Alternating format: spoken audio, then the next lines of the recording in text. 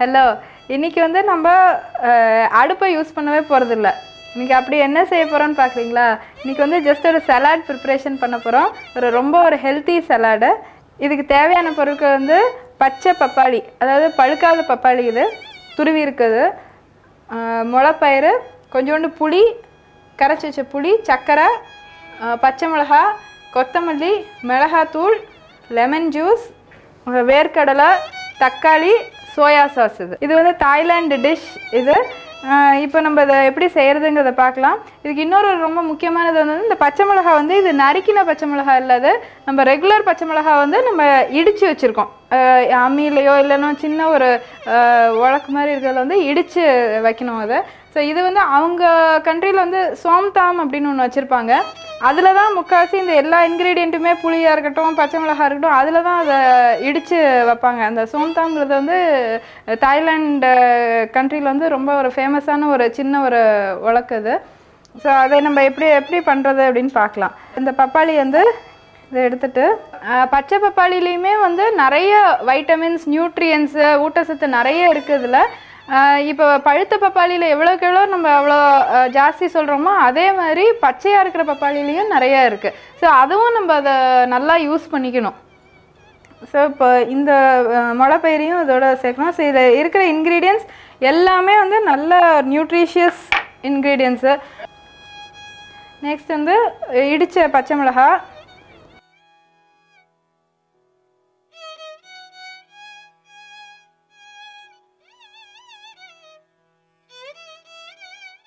கொஞ்சோண்டு sugar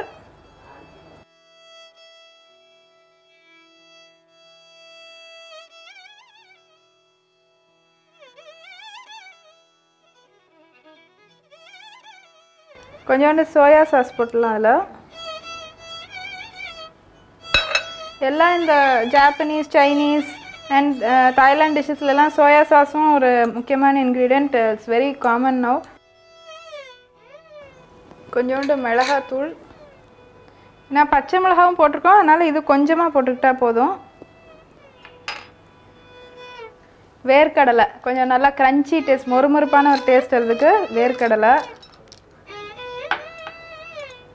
lemon juice இந்த lemon ஜூஸுக்கு ஒரு இன்னும் ரொம்ப ஒரு முக்கியமான ஒரு குறிப்பு என்னென்னாக்கா எதுலேயுமே நம்ம வந்து லெமன் ஜூஸ் பிடிச்சோன்னா அதோட இப்போ சுகர் பேஷண்ட்ஸால் வந்து உருளைக்கிழங்கு சாப்பிட முடியாது சொல்கிறாங்க சாதம் நிறைய சாப்பிட முடியாதுன்ட்டுங்கிற மாதிரி சில ஃபேக்ட்ஸ் இருக்குது வந்து.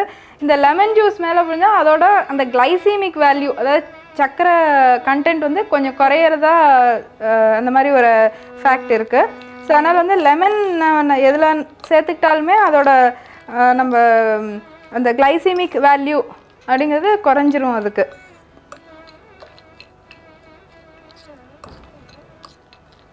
நெக்ஸ்ட்டு தக்காளி. இப்போ இதுக்கு வந்து இந்த சால்ட்டையும் போட்டுடலாம்.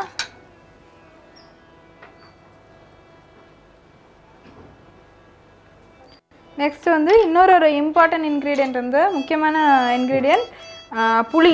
இது புளி கரைசல் இது. கொஞ்சமாக இதை போட்டுக்கலாம். ஏன்னா சோயா சாஸும் உங்களுக்கு புளிப்பு தான் கொடுக்கும். இது ஜஸ்ட் புளிப்பு திதிப்பு கலந்ததுக்கு இதை போடுறோம் அதை.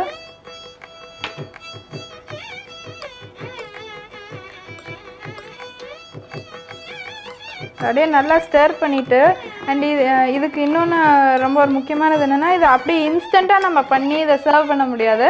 இதை வந்து ஒரு ஒன் ஹவர் முன்னாடியே பண்ணி வச்சுட்டு அதுக்கப்புறமா சர்வ் பண்ணோன்னா அந்த ஃப்ளேவர் எல்லாம் நல்லா பிளெண்ட் ஆகி நல்ல ஒரு யூனிஃபார்ம் டேஸ்ட்டாக வரும்.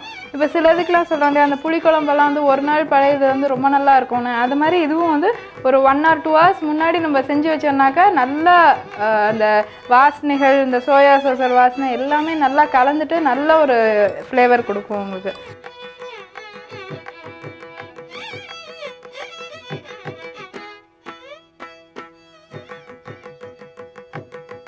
சர்விங் டிஷ்ஷில் வச்சாச்சு. டெக்கரேஷனுக்கு அப்படியே கொத்தமல்லி தூவிட்டா இந்த சலாடு தயார். ஸோ ரா பப்பாயா சாலட் தயார். ரா பப்பாயா சாலட் செய்ய தேவையான பொருட்கள். பப்பாளி மூன்று கப் தக்காளி ஒன்று. வேர்க்கடலை அரை கப் முளைப்பயிறு அரை கப் பச்சை மிளகாய் நான்கு. புளி விழுது. இரண்டு மேஜிக்கரண்டி சர்க்கரை ஐந்து தேக்கரண்டி கொத்தமல்லி சிறிதளவு. எலுமிச்சம் சாறு இரண்டு தேக்கரண்டி சோயா சாஸ் ஒரு தேக்கரண்டி மிளகாய்த்தூள் ஒரு தேக்கரண்டி உப்பு தேவையான அளவு. Raw papaya salad. செய்முறை. துருவிய பப்பாளியுடன் முளைப்பயிறு பச்சை மிளகாய்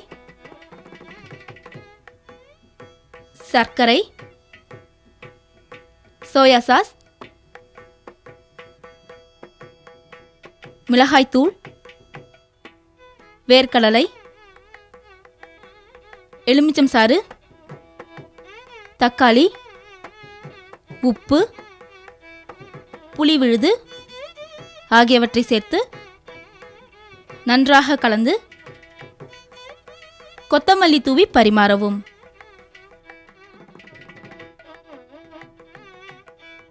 ரா பப்பாயா சாலட் தயார்.